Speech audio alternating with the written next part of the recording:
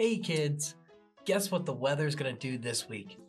Is it A, stay warm and sunny, making you think fall is just a myth? Is it B, give us cozy fall days? Or is it C, summon a tornado of pumpkins and hay rides, comboing and causing chaos around the city? That's right, it's A. Uh, we all know C would have been much more interesting, but hey, the kiddos needed the more tame answer. Alrighty, well, welcome back to the Pride Roofing Weather Watch. My name is Lachlan, and I am here to tell you why the weather is just kind of meh. Monday's bringing you 82, high enough just to make you think that summer is still here, even though it is not. October is well in swing. It's cold at night now. I'm a little afraid to go out barefoot uh, in the late evenings of, uh, you know, Pride Roofing late night. So, you know, don't do that. It's a little chilly. That's shorts by day, frostbite by night. Tuesday is a high of 71, low of 46. Definitely not too shabby.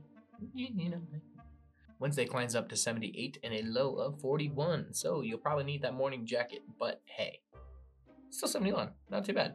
Thursday's hitting 74 with a low of 42.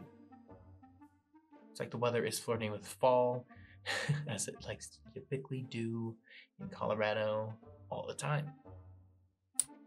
Again, it could be blizzarding next week. Who really knows? Friday's where it gets a little weird. We had a high of 63. That is the lowest we've seen in a while, uh, considering we had high 80, like what, 84 last week. That's pretty yeah, drastic difference here. So high of 84 was last week, and high of 63 this Friday. So it is gonna chill out like a lot and be definitely a little spookier because it's supposedly gonna rain. Um, you know how Colorado does though. It could rain, could snow, could blizzard, could could be acid from the sky. Who knows? It is uh, another point. It is Colorado. could be, could be that. Um, but hey, it will be chilly, so be prepared for some chilliness uh, later in the week and into the weekend. Saturday cools down even more to 55. So, whew, I see that is, um, yeah, you know, hey, it's uh, fall and winter vibes kind of hitting hard there into the weekend. So go check that out. Make sure you got some coats ready to go. Um, otherwise, you kind of SOL. Sunday's back up to 64, but uh, you know, still kind of on the chillier side, all all things considered. So you know, make sure you got those uh, you know flannels prepped, ready to go for your pumpkin uh, patch adventures this weekend. You set and ready to go for Halloween on October 31st. I know I am.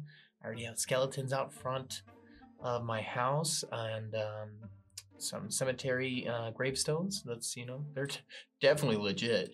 You know, just all scattered across my yard, and then cobwebs, some big big spiders, and some bats that are just kind of hanging uh, above my front door. So I'm, I'm really ready for Halloween. So I just prefer it not to be frozen.